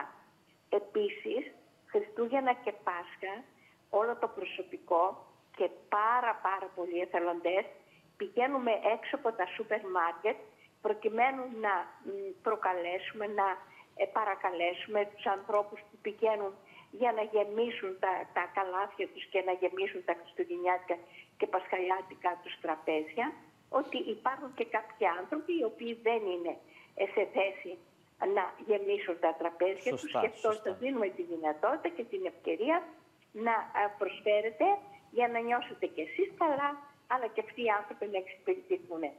Όπως βλέπετε, προσπαθούμε με κάθε τρόπο, όπως κάθε πέμπτη που εμείς έχουμε λαϊκή στην πόλη μας, πηγαίνουμε ε, με τα καλάθια μας ε, και, με, και συγκεντρώνουμε όλα τα προϊόντα που έχουν βγει στους πάγκους και αμέσως την ίδια ημέρα γίνονται πακέτα ή οι κοινωνικοί λειτουργοί ενημερώνουν τους ανθρώπους και έρχονται την άλλη μέρα πρωί-πρωί να τα παραλάβουν μαζί με το ψωμί που κάθε πρωί όπως είναι γνωστό δίνουμε μαζί με όλα τα αυτοσκευάσματα που συγκεντρώνουμε από τους πούνους, ζαχαροπλαστεία κτλ.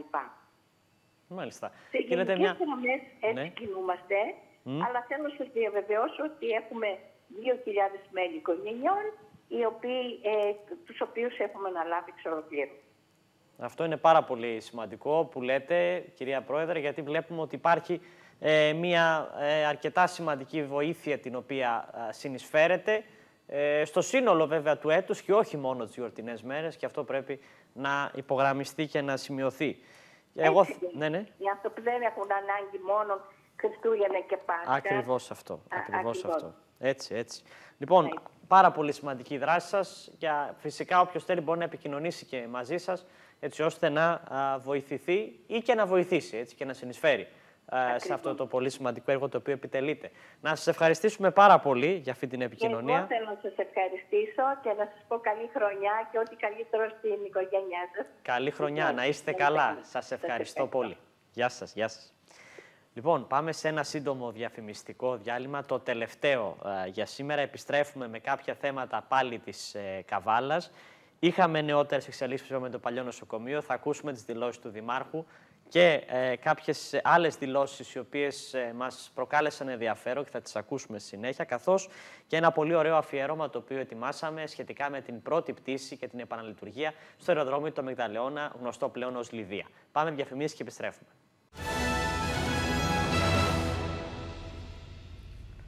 Επιστρέψαμε κυρίες και κύριοι, τελευταίο μέρος της εκπομπής και για σήμερα. Λοιπόν, θα περάσουμε τώρα ε, και στην αρχή της εκπομπής, το οποίο το είχαμε αναφέρει και τώρα έχουμε και τις ε, δηλώσεις από πλευράς του Δημάρχου, να δούμε τι θα γίνει με την αξιοποίηση του παλιού νοσοκομείου Καβάλα. Σε ένα κτίριο το οποίο πολλές φορές έχει συζητηθεί, έχει τεθεί επιτάπητος, πριν ακόμη ε, ασκήσω και εγώ τη δημοσιογραφία και από ε, φυσικά δημοσιογράφους οι οποίοι έχουν περάσει και από τηλεόραση και από ραδιόφωνο και από εφημερίδα. Το ακούμε συνέχεια ότι πρόκειται να αξιοποιηθεί, ότι έχει ε, σαπίσει, έχει ε, υπάρξει μια πολύ... έχει περάσει ο χρόνος από πάνω του και δυστυχώς δεν γίνεται τίποτα. Υπάρχουν ενδιαφέρουσες απόψεις, τοποθετήσεις όπως το να κατεδαφιστεί το κτίριο και να γίνει κάτι άλλο, όπως το να ανακαινιστεί. Πολλά κατά καιρούς έχουν ακουστεί. Πέρασαν λοιπόν ε, συνολικά 3,5 χρόνια και από την ε, διοίκηση του κ. Μουριάδη και να πούμε ότι και από πριν και με τη διοίκηση της κυρίας Τσανάκα γίνανε κάποιες ενέργειες τότε με επενδυτή. Ε, η συμφωνία κολούσε λόγω του γεγονότος ότι δεν υπήρξε το 80% της παραχώρησης προς το Δήμο. Τώρα όμως που υπάρχει Φαίνεται πως ε, ο Δήμαρχος ε, προτίμησε να παραχωρήσει ενδεχομένως όλες τις αρμοδιότητες σε μια real estate εταιρεία, έτσι ώστε αυτή να βρει και να αναζητήσει επενδυτή για το επόμενο χρονικό διάστημα που θα βρει ενδεχομένως, ε, που θα θελήσει κάποιος δηλαδή να επενδύσει σε αυτό το κτίριο. Βέβαια, δεν ξέρουμε το κατά πόσο αυτό είναι προς σωστή κατεύθυνση ή όχι. Ε, ας ελπίσουμε να είναι, έτσι ώστε να μην υπάρξει πρόβλημα. Περί των 190.000 πρόκειται να κοστίσει στο Δήμο περίπου η συγκεκριμένη α, συνεργασία πρόκειται να γίνει για την επένδυση. Θέλω να πάμε να ακούσουμε τα όσα είπε ο Δήμαρχος.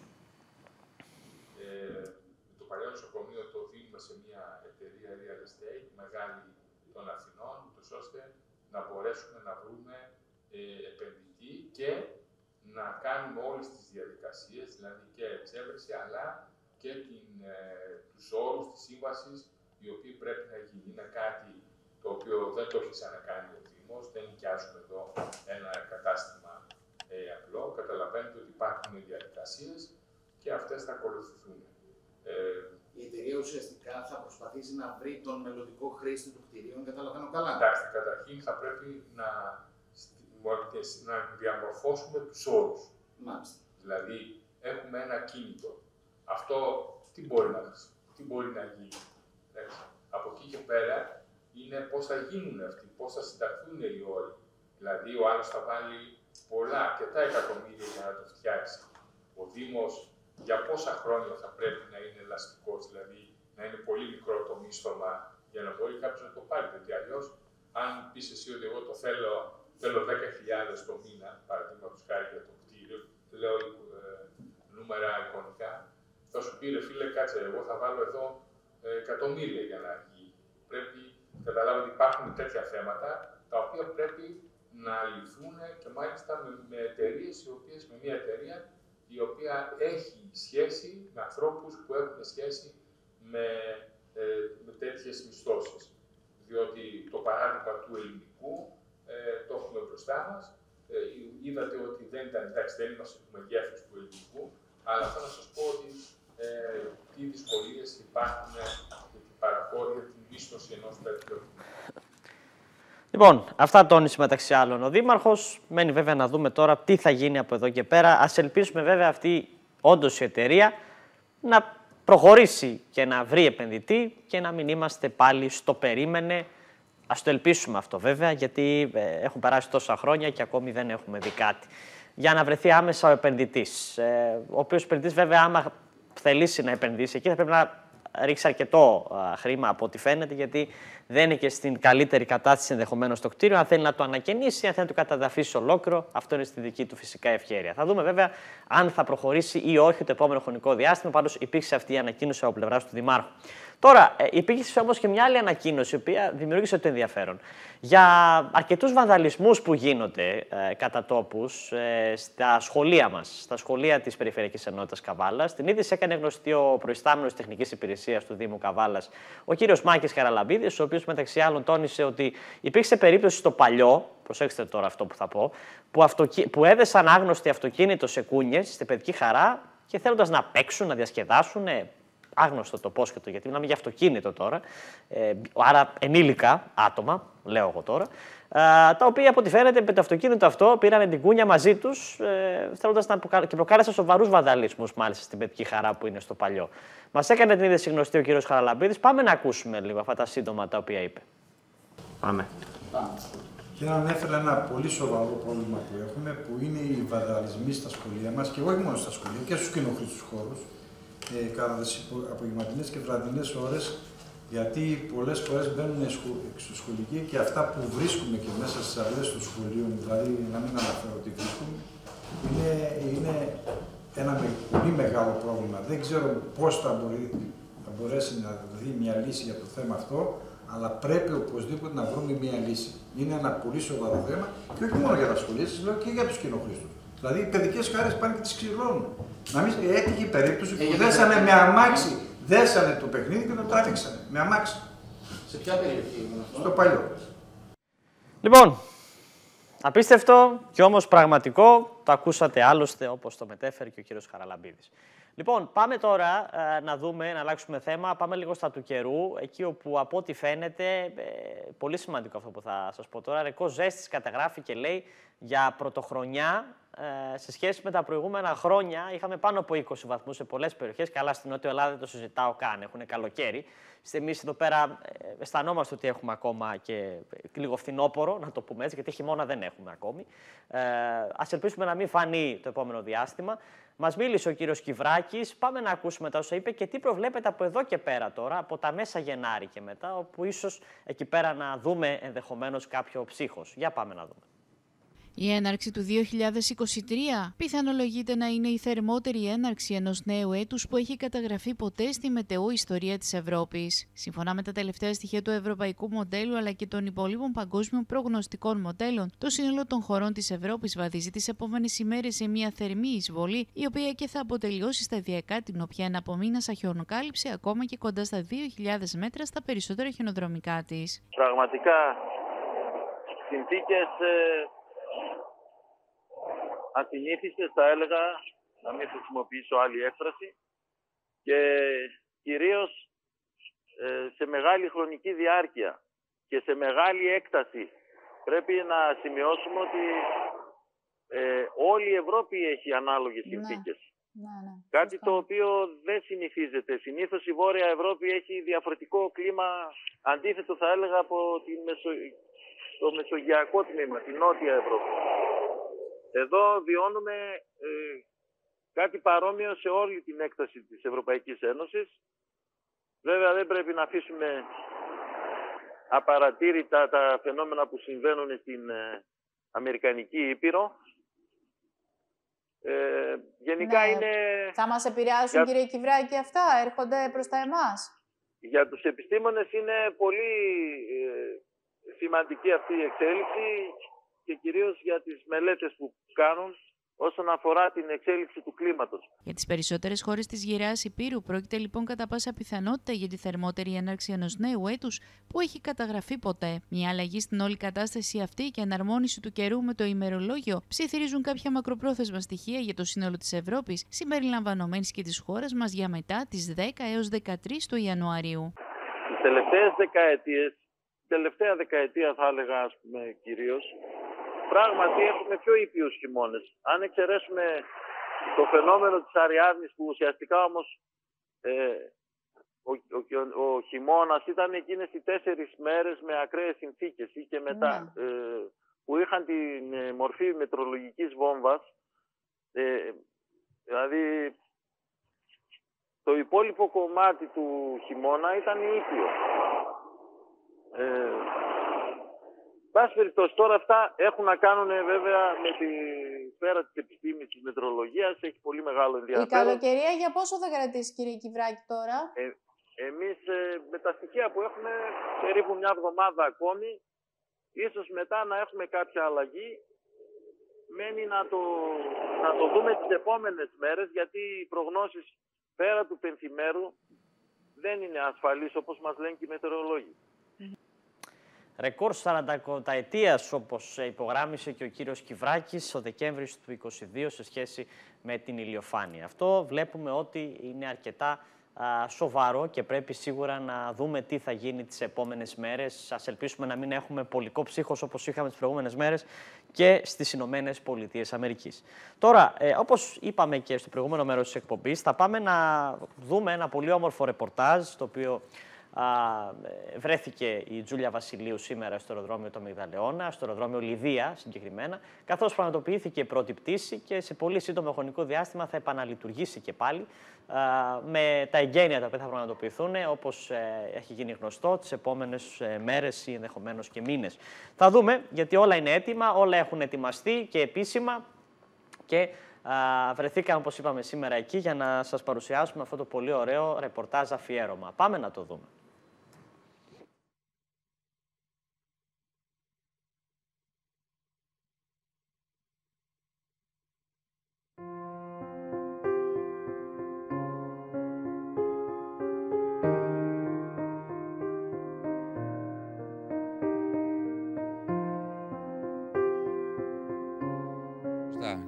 2 και 20 εχθές ε, προσγειώθηκε το πρώτο αεροπλάνο και ακολούθησαν μετά άλλα 6.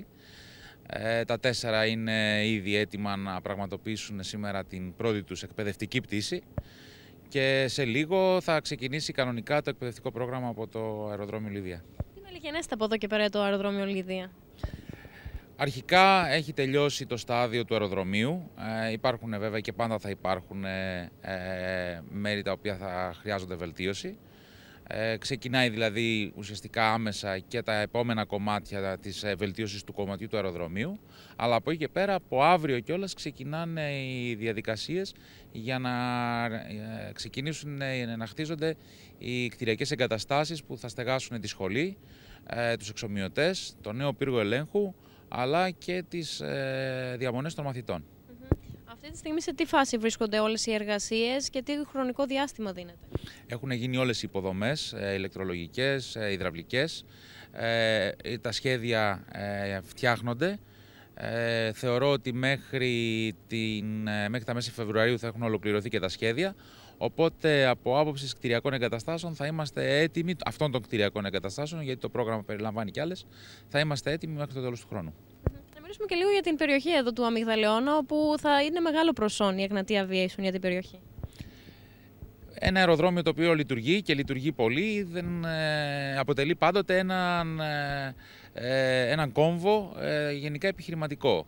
Οπότε και ο Αμυγδαλαιώνας, ο οποίος πλέον είναι λειτουργικός από εχθές, είναι ένα όφελος για την περιοχή ε, αλλά όχι μόνο για την ε, περιοχή του Αμυγδαλαιώνα ή της Καβάλας ή της ε, Ανατολικής Μακεδονίας και Θράκης, αλλά ο Αμυγδαλαιώνας είναι και μία πύλη ε, για την γενική αεροπορία και για τον αεροτουρισμό για όλη την Ελλάδα. Είναι το πρώτο αεροδρόμιο γενικής αεροπορίας που μπορεί να συναντήσει κάποιος ερχόμενος από βορρά.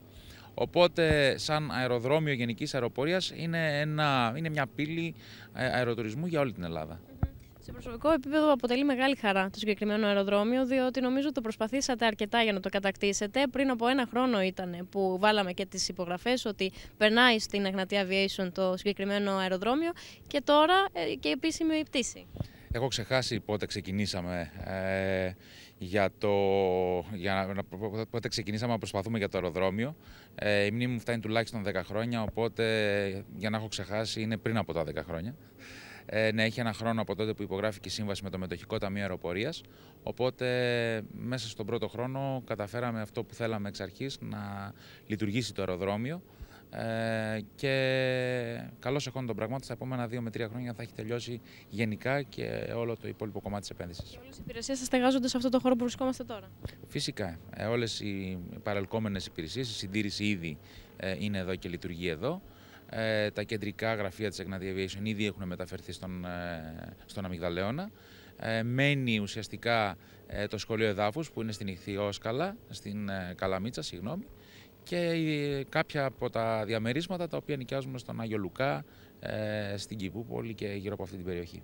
Οικονομική ανάπτυξη και για την περιοχή λοιπόν εδώ από τους φοιτητές που θα έρχονται καθημερινά στη περιοχή. Σαφώς. οι μαθητές όταν έρχονται ζουν εδώ για 1,5 χρόνο.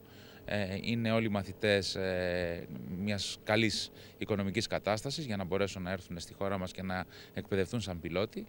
Ε, είναι μια διαφήμιση για την περιοχή μας, μια διαφήμιση για τη χώρα μας και αυτό εδώ πέρα, εδώ στον Αμυγδαλέο, να έχει και την ευχαίρεια να μεγαλώσει ακόμα περισσότερο. Πόσους φοιτητές έχετε αυτή τη στιγμή; Αυτή τη στιγμή στη μετα-COVID περιοχή έχουν μειωθεί οι μαθητές που βρίσκονται αυτή τη στιγμή εδώ, είναι γύρω στους 216 στην προ-COVID περίοδο είχαμε γύρω στους 300 με 310. Ε, ήδη μέσα στο 2023 ξεκινάνε πολλές νέες σειρές, έχουμε πολλές νέες εγγραφές, οπότε θα αρχίσουμε να, πιάσουμε, να πιάνουμε τα επίπεδα προ-COVID.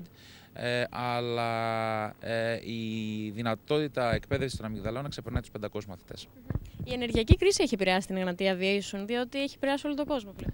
Έχει επηρεάσει όλο τον κόσμο, την Εγνατία Aviation, αλλά ο αμυγδαλώνας είναι μια πρώτη τάξη ευκαιρία να συμμαζευτούμε διότι αυτή τη στιγμή ε, έχουμε μέχρι τώρα τουλάχιστον είχαμε πολλά κτίρια, ε, πολλές εγκαταστάσεις οι οποίες θα έπρεπε να ηλεκτροδοτηθούν, να ζεσταθούν, να δροσιστούν το καλοκαίρι, οπότε μαζεύοντας τα όλα σε ένα σημείο, ε, ασφαλώς ε, με την οικονομία κλίμακος κάνεις, ε, οικονομία, ε, κλίμακος κάνεις οικονομία και σε αυτό το κομμάτι.